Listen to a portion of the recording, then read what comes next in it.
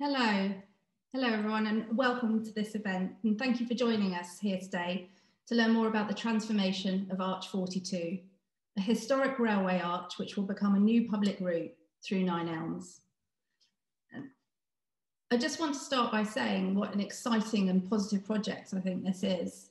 It brings so much to the area, opening up a new route, which will significantly reduce uh, journey times for pedestrians, um, which in the, in the essence of improving people's lives, those extra 20 minutes every day or extra 40 minutes every day are going to make such a significant difference.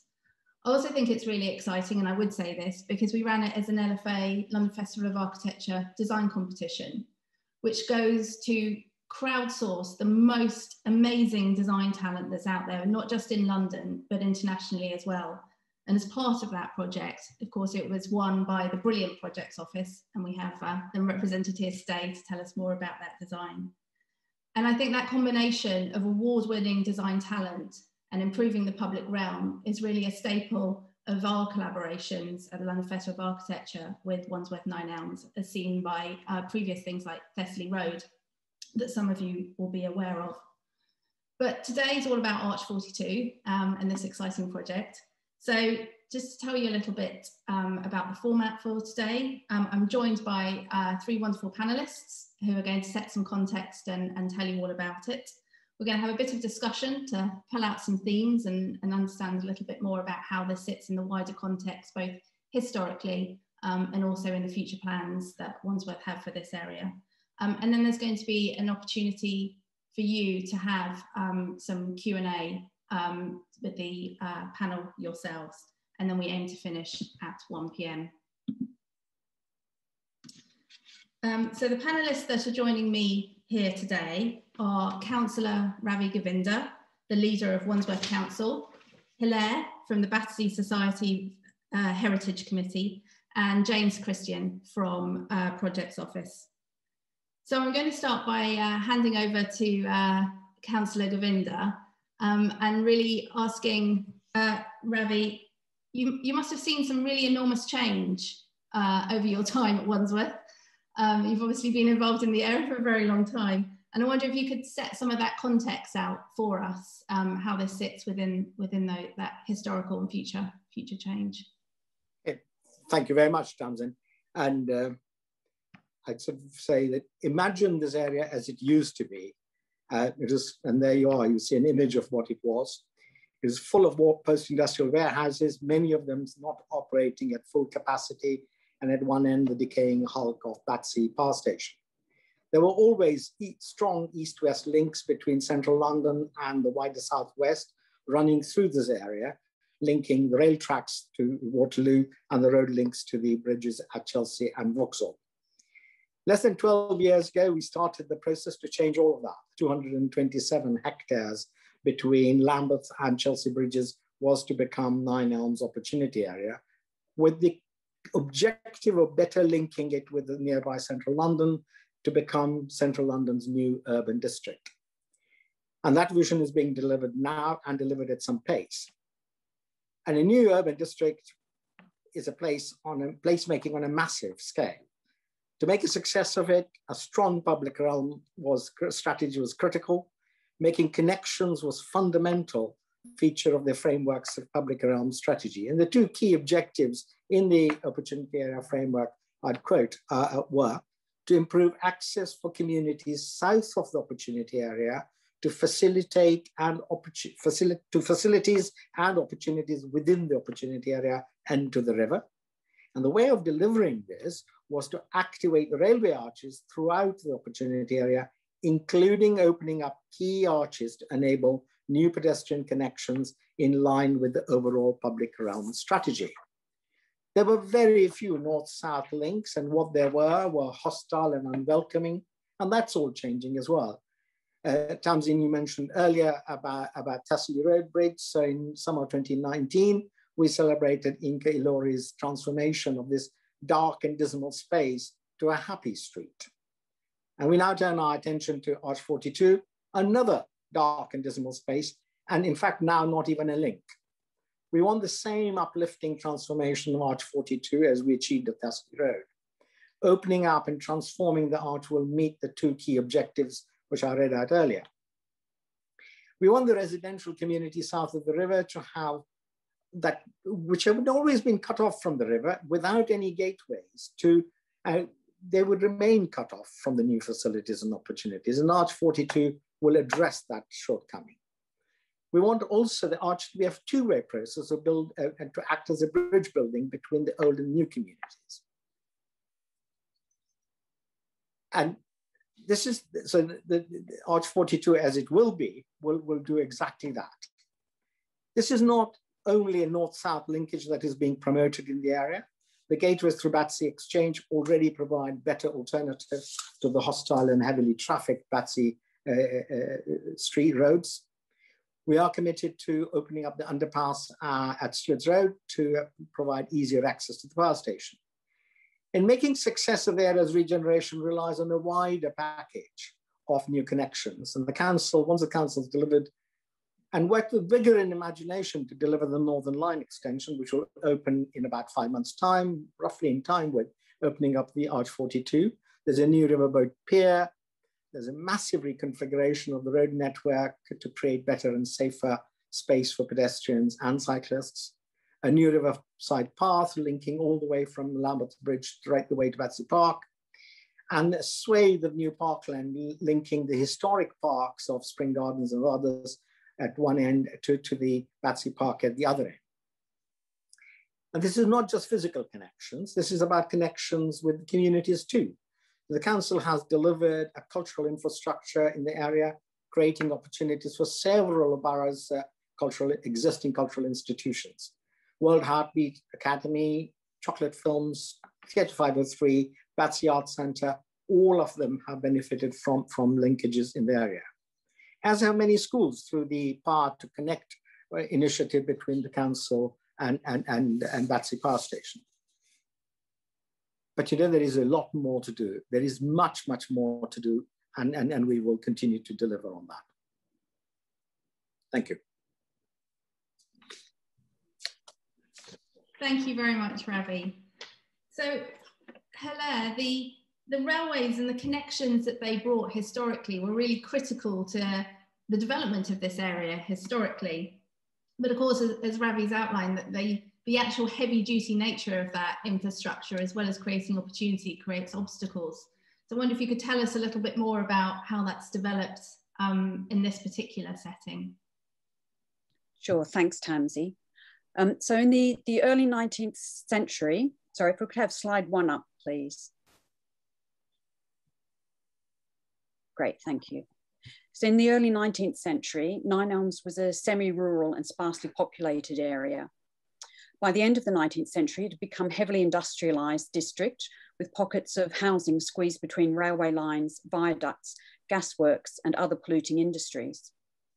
The arrival of the railways mid-century was a key factor in this transformation. So the London and Southwestern Railway Company's Southampton to Nine Elms service, shown here running from bottom left up to the ter terminus near the river, was fully operational by 1840. Nine Elms' largest farm, Longhedge, was cut in half by the line. Smaller farms were also affected as the railway embankment made it difficult to move stock around. The London South Western Railway soon decided to move their terminus closer to the West End, and an extension to Waterloo was completed in 1848.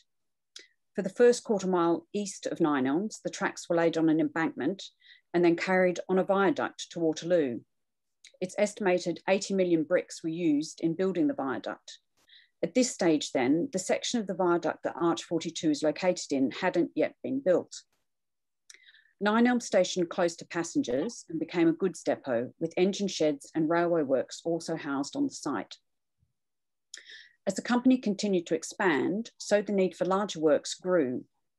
In 1861, they purchased 30 acres of market garden land south of the main line, extending almost as far as today's Thessaly Road. Locomotive and carriage sheds were built on the eastern section of this land. By 1876, the Nine Elms goods depot was short of space. The company decided to move the main line south to free up space and also to raise the line at this point onto a viaduct. This was a huge operation involving removing the mainline embankment and locomotive depot, constructing a viaduct and building a new locomotive depot. Several hundred artisans and labourers worked on the project, which was completed by July 1878. Slide two, please.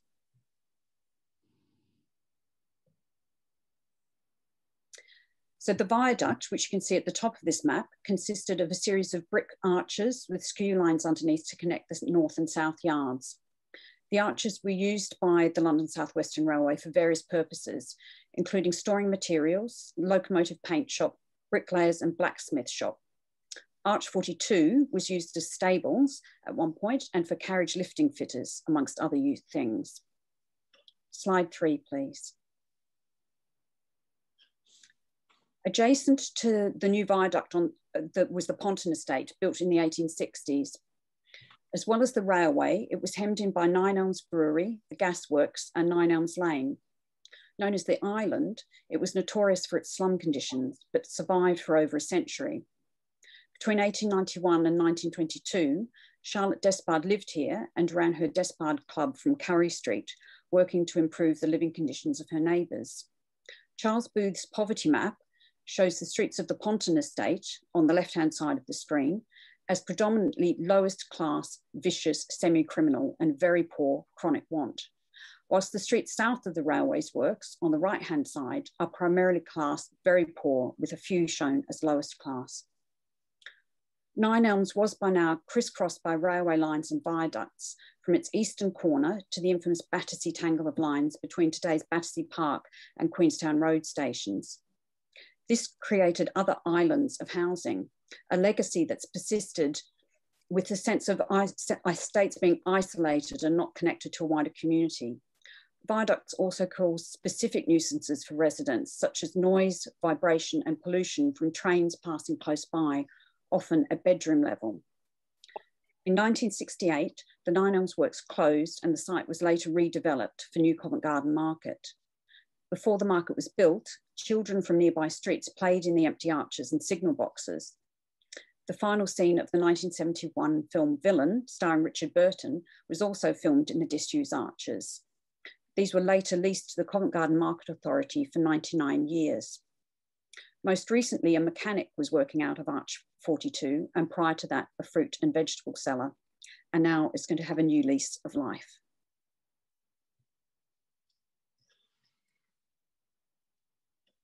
Thank you so much. That's uh, really fascinating. I've got loads of questions to put later. Um, but obviously, um, we're here to talk specifically about Arch 42 now. Um, and TFL, as um, some of you will know, um, have endeavoured to open it up and to make it a, a safe um, public uh, access route, uh, making it usable and, and lighting it, etc. but this competition was run to make it more than that um, and to make it a much more significant contribution uh, to the local area, um, which of course Projects Office uh, then won. So I've obviously seen the winning scheme, but I haven't seen it for a while. So I'm absolutely fascinated to hear more from James about uh, how it's developed um, and where you are now. So over to you, James. Thank you. Okay, so um, yes, as Tamsin mentions, our proposal, um, which we provisionally called Tunnel Visions, um, we were lucky enough to, to win the Arch 42 competition um, back at the beginning of, of this year. Um, and yeah, as, as Councillor Govindia has, has mentioned, this is a really important strategic route um, that builds on the success of the work done by Yinka Ilori at Thessaly Road and creates a second strategic link north-south, connecting these two quite distinct areas of the, the, the new um, regeneration zone to the north and the existing communities and New Covent Garden Market, and importantly, the, the nine, new Nine Elms London Underground station to the south as, as you can see from Hilaire's presentation, the, the history of this area is really fascinating because of the sort of distinct identities of the place through, through the years. And when exploring this at the kind of initial conceptual stage of, of the competition entry, we were kind of struck by how the, the railway has been this kind of one continuous um, sort of landmark uh, throughout these years and years of, of change. Um, and it is a it is a barrier, um, but it's also something that, that we felt could be kind of celebrated as this kind of consistent thing that, that has remained there throughout all these years. Um, and on these two maps, um, I've marked where Arch 42 is. So we see in, in 1893, the, the locomotive works to the south and, and the goods depot to the north. Um, and now today, uh, linking the, the new um, regeneration zone with the new US Embassy um, and Ponton Road to the north and connecting that to the new Covent Garden Market site to the south and then to the new um, Nine Elms London Underground Station. So we decided that we were going to sort of place this railway heritage um, sort of center stage of, of our proposal and, and really celebrate that um, with our, our scheme. Um, and we sort of interpreted that in the form of this sort of iconic um, sort of architectural signifier that you find on, on in, in railway infrastructure, and that is the, the dagger board. So each railway company would have their kind of own sort of distinct identity of dagger boards. And we thought that it would be really interesting to work with the local community to actually design dagger boards for Nine Elms. So we proposed a series of these paper cutting workshops for local schools where we asked the children to kind of consider um, their place in history and actually through the workshop we worked with the, the kids at um, St Mary's, St George's and Griffin Primary School uh, to sort of think, well actually they are part of history and they too can make a mark on history. Um, so we asked them to sort of think about their walk to school and and sort of come up with some series of symbols that represent the, the places where they live. Um, and we have literally got hundreds and hundreds of these really beautiful dagger boards um, designed by by the school children um, that we will be incorporating into various parts of the, the new structures um, that we're currently working on it's not just being limited to local kids. Um, it's actually you can you can do this at home. Um, as part of um, the London Festival of Architecture, we have a home workshop uh, video uh, that you can access visiting the Nine Elms London website. Um, and you can also download a DIY daggerboard worksheet. Um, and there's a competition uh, to get your daggerboard featured in the design which I think closes next week. So um, if you're very quick, you can you can still get involved with that. Um, but yeah, please do watch the video and you'll see Megan explain the process of, of how to make one of these dagger boards at home. So yeah, this is a, a strategic route um, and the, it sort of links two areas with quite distinct identities. Um, so the south side on the new Covent Garden market site, I mean, for us as architects, we find this fascinating because it's a working market. Uh, the viaduct, it's messy, but it's very visually interesting. Um, but it's also a very busy structure. There's a lot going on. There's a lot of businesses. There's a lot of kind of hustle and bustle um, around the area. And we felt that um, it's quite difficult to sort of navigate that site as it is. So we felt that we needed to kind of make a proposal that was kind of very singular and very clear and very obvious that really made it sort of abundantly apparent where it is you should go to get to the other side. So we've created this railway tunnel inspired South Gateway. Um, so as you sort of walk from the Nine Elms tube station through the Covent Garden Market site, you know exactly where it is you should go. It's sort of you don't need signage. It's it's just there. It's obvious that there is something exciting on the other side, and and it's a and it's a route through. And this has to be true 24 hours a day. The the market operates throughout the, the day. It operates at night, um, but it's important that people can can walk through safely at night. So we will be incorporating lighting into the design as well.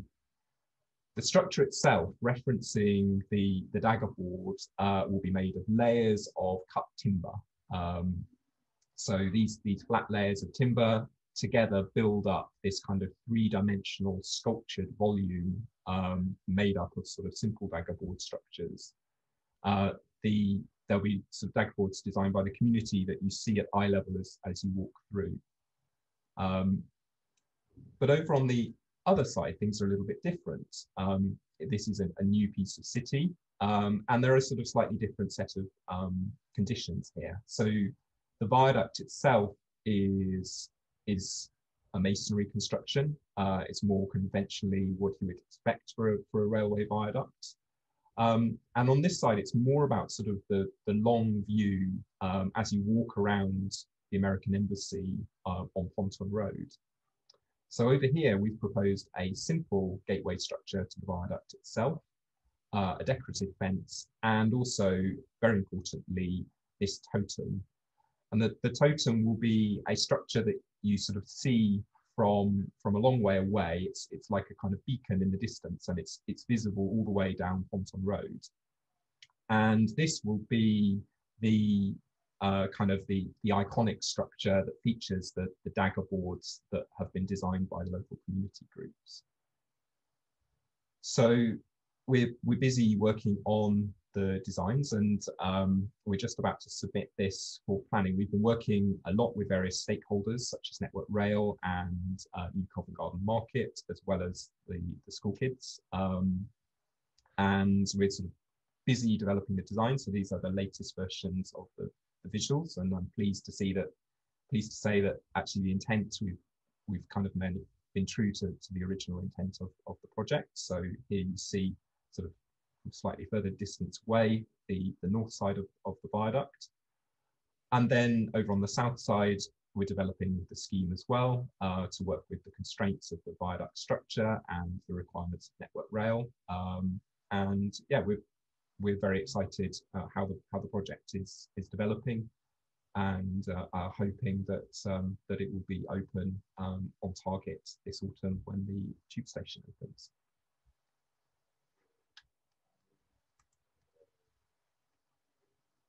Thank you, James. That was great. And it's looking, it's looking great. It's developing um, really, really nicely. Um, well, I'm full of questions, so I'm gonna, I'm gonna start. Um, one thing that um, I just wanted to follow up on, uh, maybe with James and, and with Ravi, both of you mentioned the involvement of young people in schools, um, James specifically in this project, and I know that's very much part of your practice. Um, but Ravi, you, you, also more broadly in some of the other things that are happening. Um, I wondered if you could start maybe by just telling us a little bit more about some of that, and then James, maybe you could tell us a bit about the specifics um, for your. Um, so, thank you, James. I mean, there has always been a community on the edges of that, this industrial area, and when the area became a wasteland, there were still existing communities in Patmore, Savona, the two, three schools that James mentioned are all within walking distance of this regenerating area. It was important for us from the very beginning to say to children that their future is being shaped in their neighborhood. They need to be part of actually influencing some of the outcomes of the, the, the new neighborhood that's developing. So firstly, I must say, James, thank you for, for actually telling me that these pieces of wood on a railway canopy are called dagger boards. I never knew. So that's a bit of learning uh, this morning I cherish for, for a while. But in it, you can see the imagination with which children have embraced that idea of getting involved. Earlier, there was a project where they created lanterns and they took in a, a little snake of uh, children with lanterns all the way from the estate to the river to celebrate some of the mythical creatures of the river as a part of them getting to know the, the area. And there's been a continuous involvement of schools in visiting the construction sites to learn more about both construction projects. Quite apart from that, we have had a number of children look at, and from wider than just the immediate neighborhood, look at opportunities in the construction industry as a part of their learning and their making choices for the future. So it's not just getting excited by big diggers, but actually making sure that they have possibility of making a career out of this. And in the meantime, having fun uh, cutting out pieces of papers to, to, to help James and his compatriots come up with the right designs. And Yinka Ilori did some, something very similar and you know, got, got children very excited by primary colors and how they use primary colors to inform his uh, color palette. Yeah, I think we have, as a practice, we've we've always wanted to sort of, um, we we we work with kids to sort of show that, I guess, show that that design as a career exists, um, because it's it's not necessarily something that is kind of immediately apparent when you're sort of eight or nine years old, and by by working within a school, we can sort of be like, we're architects, this is what we do our job is very important because it, it makes a mark on on places. Um, and and then we can sort of continue that. Um, so by by working on the, the, the the architectural projects that we do we can work with kids to actually say well actually you can make a mark on your environment as well. Um, and I think it's always been really kind of key for this project the idea that actually we've been working with mostly with um, year to year two and three. Um, sorry, I think year three and four um, kids, and like they they can make those dagger boards and they can walk through that archway every day and see the the dagger board that that they made. And this structure has a design life of sort of 20 or 25 years, hopefully longer. And I, I love the idea that actually someone will be walking through as an adult maybe with their own children and be able to say that was it's just a shape but it's a shape that's still there 20 years later. Um, and and that was a mark that they were able to make on the place where they live.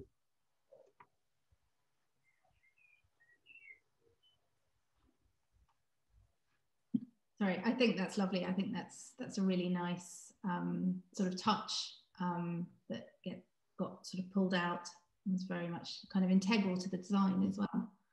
Um, just picking up on the dagger boards, going to Hilaire and, and maybe then to, to Ravi, I, always think that um, when people think of this area and they have a kind of iconic image or symbol of what it is, they always think of the power station. It's so preeminent in everyone's minds and, you know, rightfully so. Um, but actually, you sort of drew out for us, um, and as you walk around the area, it's apparent how important the railways were um, and still are to the area and what an impact they make. Um, and the dagger boards are obviously something that, that James has um, picked up on. But I wondered if you had to create your own sort of, instead of the power station, something that symbolised the railways or Nine Elms in, in that way, what your sort of thoughts on the kind of architectural components are. Um, I guess, well, I have to say also, like like Ravi, I hadn't heard of the dagger board, well, didn't know the name for them until I started looking at, at the, the design that Projects Office had come up for. So that's great to know that that little bit of terminology. And I think, I mean, where I where I live, which is on the other side of Queenstown Road from from the Nine Elms area, um, what I see from my my window is is a, a viaduct and and a, and a railway arch, and I love that view. So but it's kind of until starting to do the, the research for this and think about this, I actually started notice, really noticing the viaducts. And you know, there's there's a viaduct going through the new Battersea Exchange development as well, and the viaducts that have opened up and um, by, next to the power station site with the Turbine Theatre and some some restaurants and so on. So I think th- I think actually the viaducts are really quite you know they're a big part of Battersea and especially the you know the the end that I'm at, which is where that huge tangle of railway lines in the mid 1860s came into being. So the, the railways were they were here before a lot of the, the, the population was. You know, they were they were coming in and and they were the priority, and then the building of, of housing and so on came after that. And, and Ravi, do you, yeah, Tamsie, I mean, I think I think Hila is right. I mean, railways are such an important part of this area. There are three railway stations in a kind of triangular formation, Battersea Park, Queenstown Road, and Vauxhall. There are hundreds of lines running through it. I mean, it's like sinews running through the space. And they are at various levels. And, and I think what will be interesting about celebrating the railway heritage is when we get closer to the railway heritage because a lot of this heritage has been locked away from people because of a surrounded by industry. Just take back uh, the, the Covent Garden Market. All these arches, workers of Covent Garden Market touch and feel them every day. People don't. And I think once we are able to touch and feel them and see what they do and how they divide and how they create opportunities, will be an interesting way of celebrating the past and bringing in the future. And one of our aims is that the arches, as they open onto the northern side of this main viaduct, it should provide some space for some sort of interesting and gritty uses. And, and there are cultural institutions, and there's no reason why a kind of foundry studio can't happen in one of the railway arches. There's no reason why a picture framer can't set up shop and, and provide both jobs as well as something uh, uh, uh sort of artisan work. work. So there is really life in, in these new arches, providing both a link with the past and, and something to, for the future. And I think that that's a very, very strong part of, uh, of the area's heritage. Thank you. And I guess sort of slightly following on from that and some of the things we've been talking about, one of the things I've heard mentioned a couple of times is this idea of the Nine Elms aesthetic. Um, and with the Morag Myerscough um, installations and art pieces up at the, the river around Battersea and obviously Yinka's piece down at Thessaly Road. Um, and I would say broad, in the broader sense, the, the projects office um, uh, commission I guess falls broadly within that sort of uh, aesthetic grouping. I wondered what how do you felt, James, of being part of this this movement of this and defining this area in this way. I think, um, yeah, obviously we're we are very flattered to be uh, sort of named alongside um, Yinka and, and Morag, um, and um, but I think for us it's sort of we we want to make sort of places legible and clear um, and I think for us, sort of the the, the kind of the the color. Um, I mean, we use color a lot in our work, but here it's it's about a sort of single color um, to just be this sort of really obvious. Here is a landmark. It's a place you can go. It's a it's a place that opens you. It's a gateway. Um, it's a route through.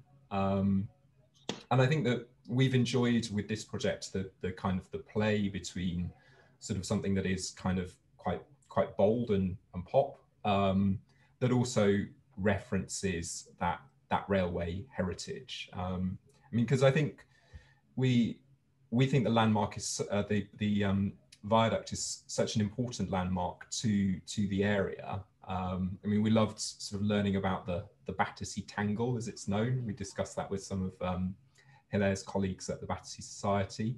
Um, and um, and we think that needs to be celebrated in the same way that you would celebrate a river or a mountain range. Um, it's it's sort of it's something that's that's there. It's it's it's a part of the landscape, um, and yes, it does have its sort of negatives in the form that it, it creates boundaries, but but by making it porous and permeable and inhabited with new new businesses, as as Councillor Govindia has has said, um, it can sort of become something that is sort of really kind of makes the identity of, of a place. And Hilaire, from the, you're obviously here representing the Battersea Heritage Society, uh, sorry, Society Heritage Committee. How, how do you kind of feel about the new aesthetic and how do you feel it sort of works with the um, historic setting? Um, I, I, mean, I like, uh, you mentioned Morag Myerscough's entrance into Battersea Power Station, which I really like. And I hadn't made that connection, but I think, yes, the, the, the, the color and the vibrancy of the, the, the project's office design does, does kind of fit with that. And it definitely brings something, something new to the area, but, but it kind of, it, it, it also links together with other parts of the area. Um, and so I hadn't, you know, it was only a few years ago that I discovered that actually you could walk through Covent Garden, New Covent Garden Market, and there was a, a pedestrian route, except it took you back out onto Wandsworth Road. So, um, yeah, I'm looking forward to being at that that extra permeability that that hasn't existed for such a long time. And uh, Ravi, are you enjoying the new this new colourful identity Yes, aesthetic oh, very, very, very much so. I mean, I think I always felt that uh, you know the, the area is so vast that it has got space and room for all manner of things that both uh, bind it together as well as celebrate little bits. So, I mean, you, you mentioned the Lorien Morag pieces, but there's a pavilion on the riverside, which is also taking up some of the kind of colorfulness and the playfulness or, or that, that and Morag have, have, brought to the area. So I think, I think there are, there are bits all over scattered, I hope, in time, which will sort of uh, create a uniformity as well as difference. Mm, and almost a sort of route through and around the area. Yeah, yeah. Yes. and you know there'll be time that you know you, you might almost create a kind of uh, you know take a route through and walk walk past these milestones uh, both in terms of what they celebrate but what it what they also represent absolutely and, and just a reminder to the audience there is an, an opportunity for them to submit questions as well but just reflecting on um, what councillor govindia just said i think this um, general approach to commissioning arts and culture within the area and supporting um, some really interesting arts and design practitioners is um, is extremely positive and very interesting. And I wondered, Ravi, if you had any sort of reflections on that. And I know the some of the cultural institutions that you're you're bringing in as part as part of that as well. It seems to be creating real identity for this area.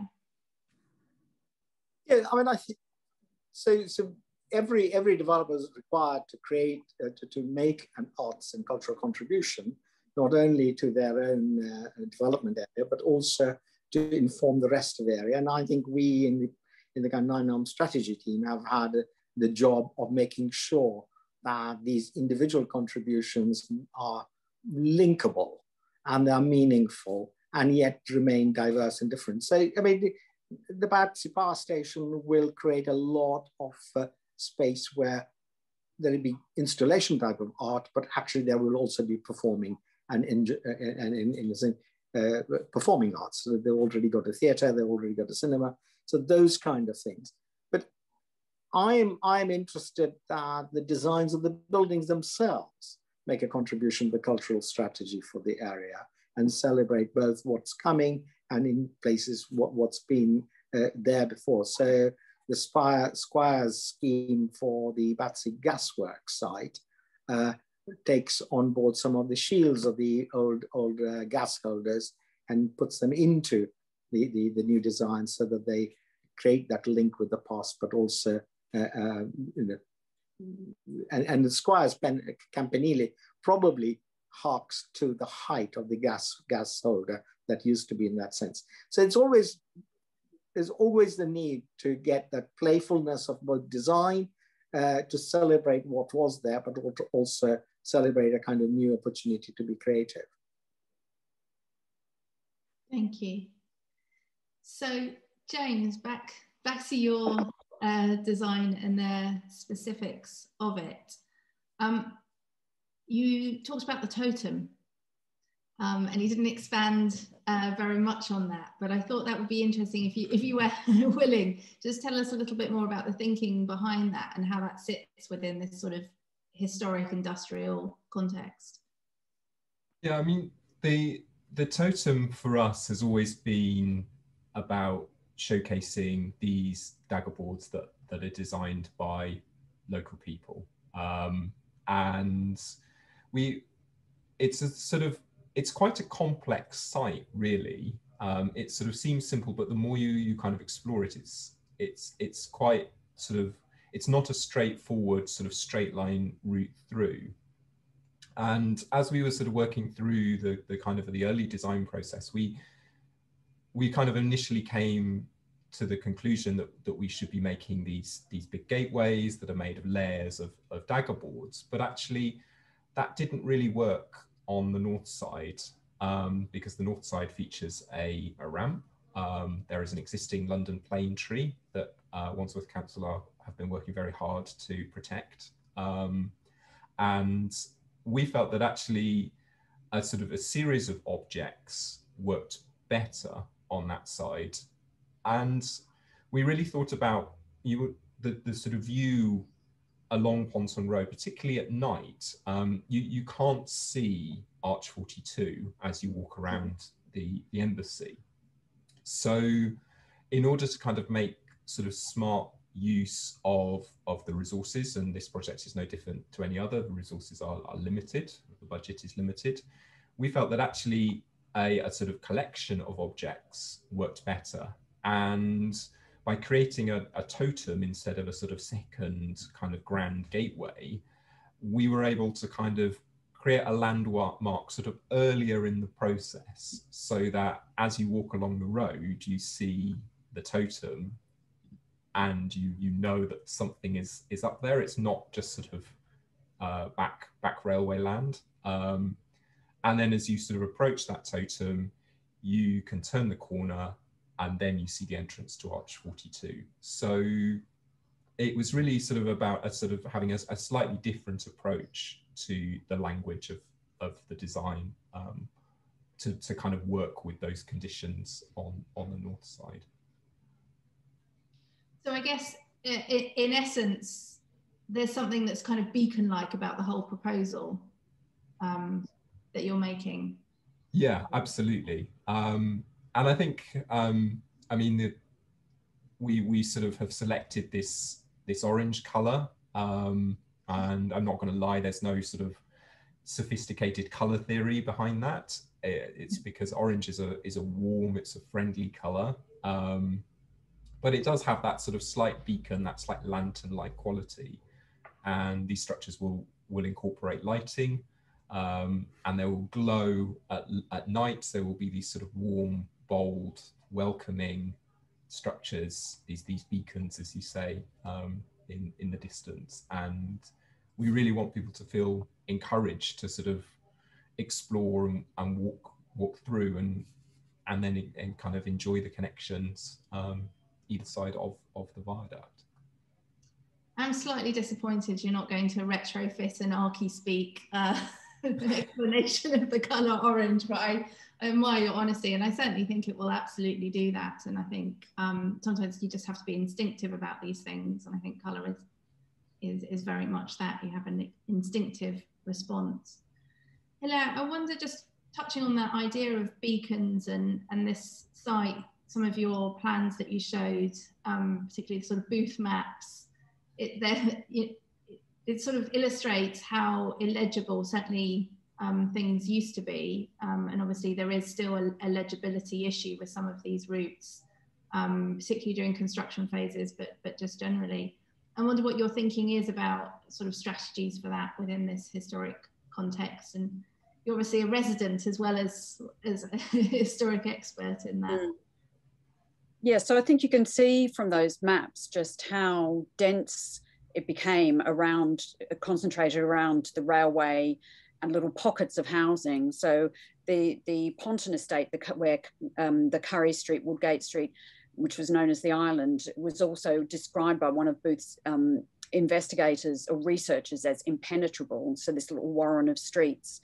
And then you had other little pockets of housing as well. And I, as I said um, earlier, I think it's that kind of sense of these isolated bits of housing has continued really. And speaking to some people in the community, that you know some of the, the estates that the um, uh, Savona and Patmore feeling well they didn't have easy access to, to, to, to, shops really. I think there's just there's just a convenience store. So to to start to unlock some of that, you know, some some some uh, you know some ways of getting close, you know, being able to to get to the new Waitrose or to, you know, that unlocking those areas will really start to make the fit the those parts of, of of Nine Elms feel part of the wider Nine Elms Battersea community. Um, so I think, yeah, it has been just the the, the density of the, the, the railway lines and the industry that was about around there really created these little almost like silos or islands where people felt quite you know isolated from other parts of the the wider community. Yes and obviously now a great opportunity um, starting to unlock with these opening up of these connections and of course the new tube station coming in as well. Yes. Yeah yeah yeah. Game, game changing again. We've had a an, a really interesting question um, from the audience for James, which really follows on um, very well from uh, Hilaire's reflections there, which is about your process, James, um, your creative process, um, and how for Projects Office, um, how you evaluate where you start from, I, the sort of the space and the very specific technical, uh, pragmatic needs, or more of the social context, where your sort of starting point, how you weave those those two things together. We um, we don't have a sort of set method of working. Um, I mean, we call our practice ethos fantastic pragmatism. Um, so it really is about um, kind of balancing a sort of a pragmatic, real world approach with sort of elements of, of fun or fantasy or playfulness. Um, and we think that sort of the, the everyday is is quite fantastic and and um, we we get excited about that. Um, it really varies from project to project, um, and it really depends at which point the the kind of engagement comes as well. Um, so some of our projects we might design actually an engagement approach as the starting point, and from workshops or uh, or activities that we we we do with stakeholders or user groups, um, that might then generate um, a kind of a narrative. Um, and that's certainly been the case for the sort of the healthcare work that we've done for the NHS, where actually the, the kind of the narrative that, that drives the project has sort of been co-created with the stakeholders.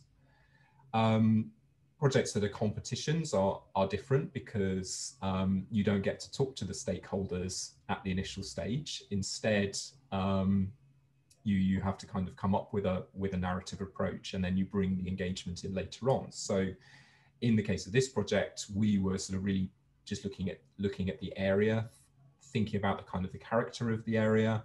We then got quite excited looking at old maps and and how it has changed sort of through the years. And i think that in this case we were we were sort of interested in these sort of very distinct identities um, sort of from being the, the market gardens, the, the place in London to grow asparagus, the famous Battersea bundle of asparagus, all the way through to kind of the really heavy industry um, and then the sort of the isolated or kind of the island type communities in the in that phase and then through to sort of the the 1960s and 70s where it sort of becomes kind of light industrial there's sort of lots of depots Christie's.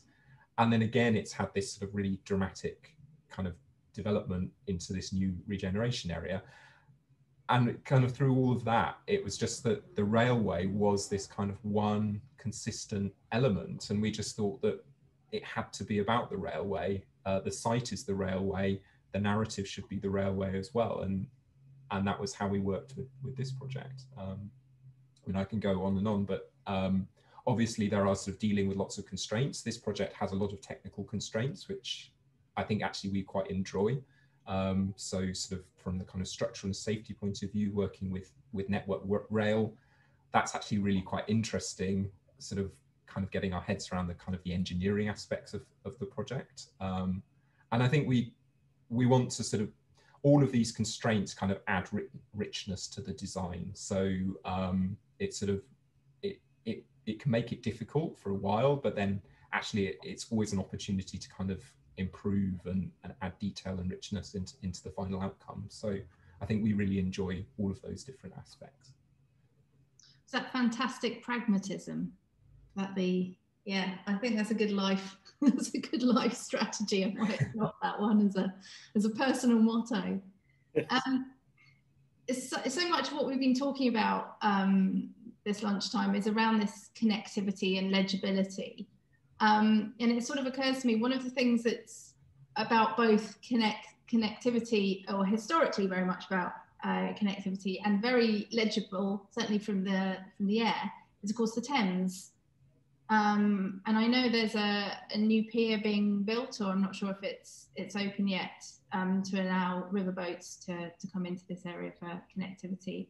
And there's much more access to that waterfront than there there ever has been, and I think there's wider plans.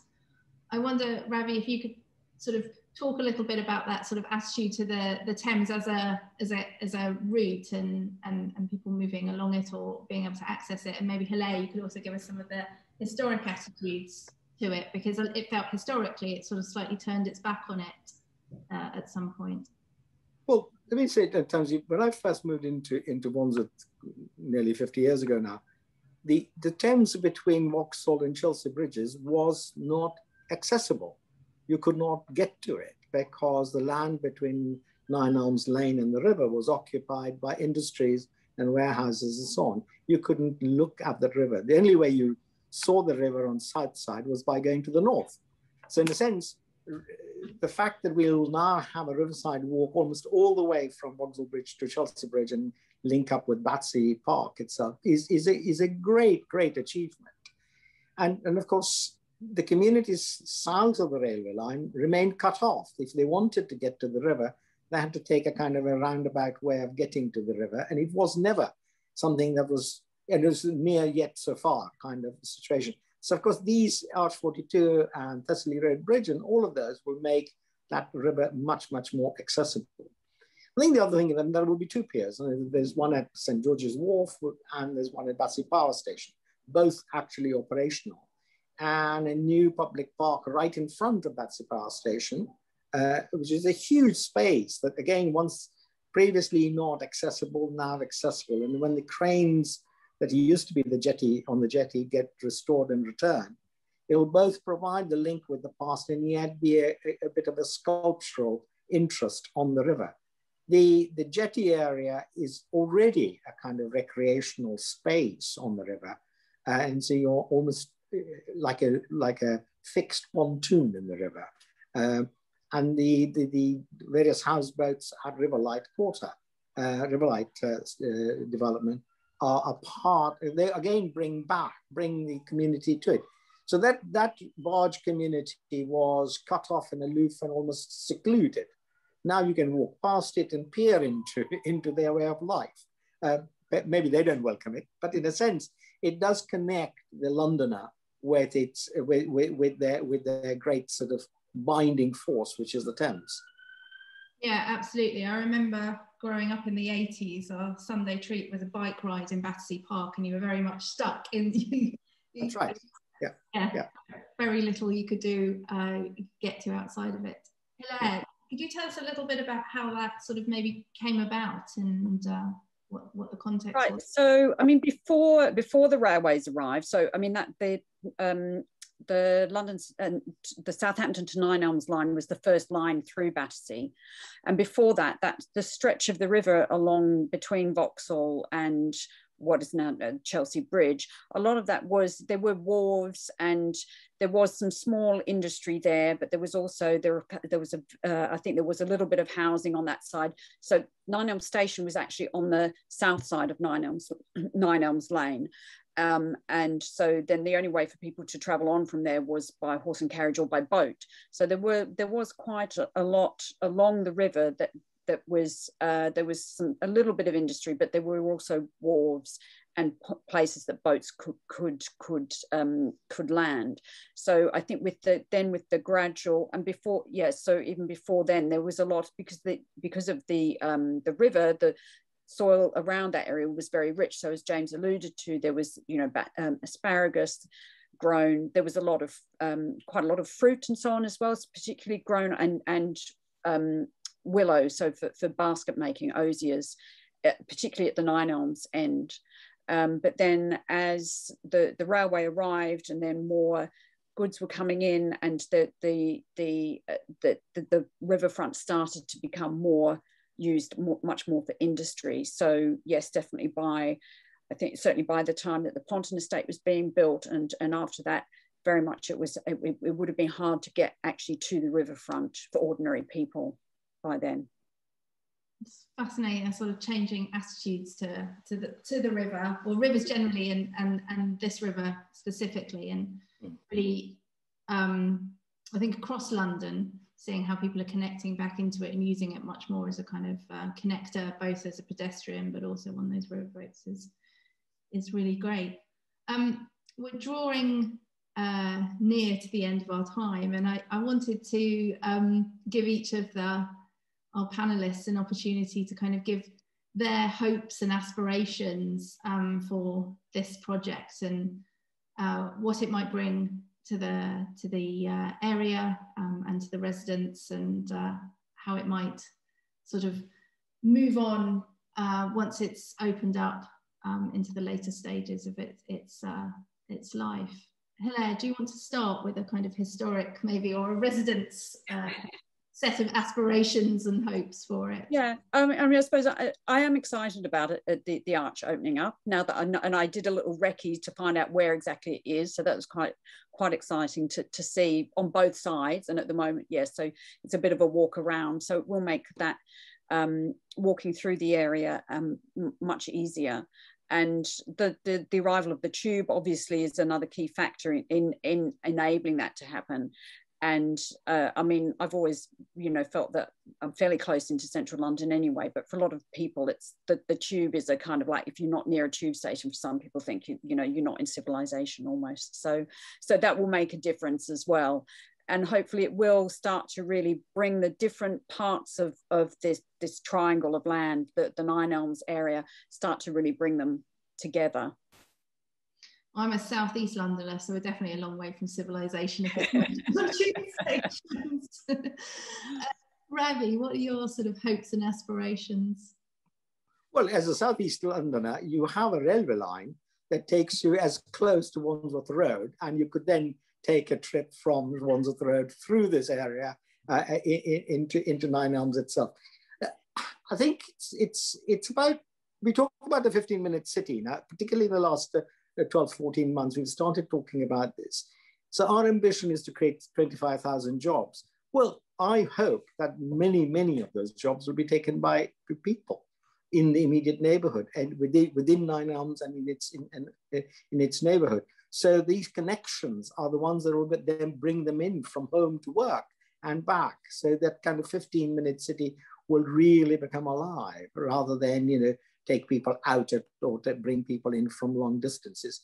And yet those long links are also important because of the diversity of the area almost means that people are going to work in different places and, and they want to be able to come in and out. But I, I really, we're halfway through, aren't we? Through this opportunity area framework period. Started in 2009 and you know, um, by 12 it was the plan and, and we are now nearly halfway there a lot has been achieved, but I think the next stage is going to make sure that we bring to life this concept of living, working, and playing within the same neighborhood, and this, this connections making it all that much easier to do. Absolutely, and I think, as you said, this connection both is a sort of short connection in the 15 minute, but also opens up this wider connectivity, which is is great. And James, sorry, we're we're running in time, but what's your sort of hopes and aspirations? I think for me or for us as projects office, it's it's all about kind of pedestrian permeability, permeability, permeability. Um, so for pedestrians and cyclists, and the idea that by opening up these routes, you you kind of give people their city back.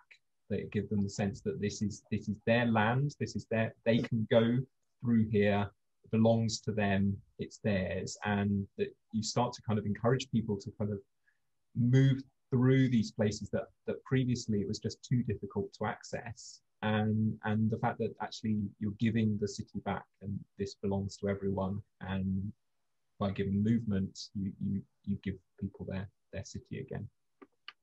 I think that's a lovely a lovely place to stop and i think absolutely uh, right. So it just uh, really falls to me to thank everyone for joining us uh, here this lunchtime and to thank my panelists, uh, Councillor Ravi Govindia, Hilaire and James Christian from Projects Office. So thank you, all three of you. It's been really fascinating. Um, and thank you everyone for joining us.